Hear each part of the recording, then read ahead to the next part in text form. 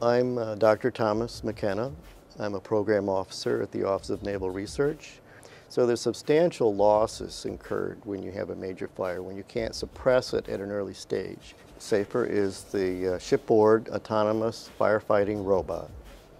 And this is a program uh, that's been going on for about five years, basically to develop a humanoid capable of fire suppression. My name is John Farley. I work at the Naval Research Laboratory, and I'm the director of the Shadwell, which is the Navy's fire test ship. If we have a shipboard fire, we have to be able to quickly get it under control and then regain the ship's ability to maintain its fighting mission. You know, we have not only the ship, but we have ordnance on board, and we have a lot of flammable systems on board. Sometimes it's hard to keep the sailors up to the latest as far as training is concerned. Or sometimes they could create an environment and make it worse. Now the robot could be uh, trained and constantly updated to make sure that the conditions are not as bad as what a human could make it. Well, our objectives for the demo on the Shadwell were to show that the, the robot could walk over what was a very uneven floor, that it could uh, orient itself to the fire, that it could autonomously handle the hose, operate the hose, aim the hose, and suppress the fire, which it succeeded in. I'm Brian Latimer. I'm an associate professor at Virginia Tech in the Department of Mechanical Engineering.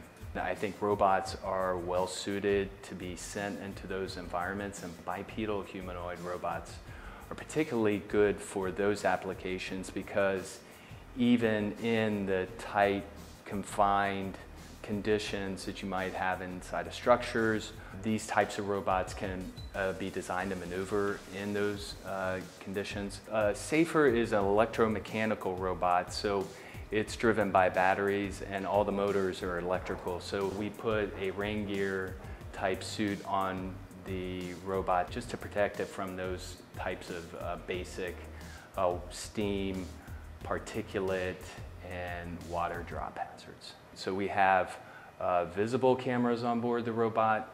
We have something called a LiDAR, which is a rotating laser that gives the location of the points in the field of the view of the robot. And then lastly, we have uh, stereoscopic uh, thermal imaging cameras that the robot uses to uh, detect and locate the position of a fire so they can suppress it.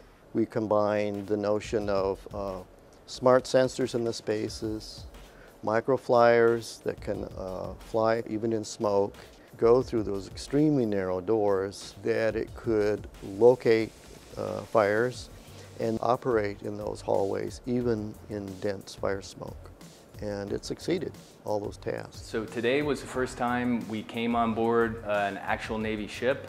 We were able to do a lot of things uh, today that, that we hadn't done previously and we have a lot of hope for new advancements in the future.